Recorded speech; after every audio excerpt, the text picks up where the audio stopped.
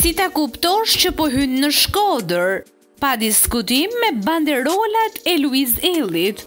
Më mirë me kenë ardhë në shpin teme. Ndërkohë, me sa duket, Shkodra tashmë ka edhe idhullin e saj. personin më të dashur. Mirë se vini në Shkodër, në shtëpinë e Luiz Ejllit dhe në shtëpinë e të gjithë shqiptarëve.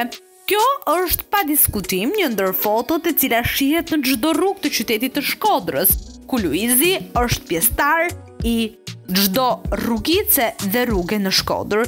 Mjafton të hyni në rrugë në autostradë do ta kuptoni mirë se ku jeni duke shkuar, pasi Shkodra mbështet Luiz Ejllin.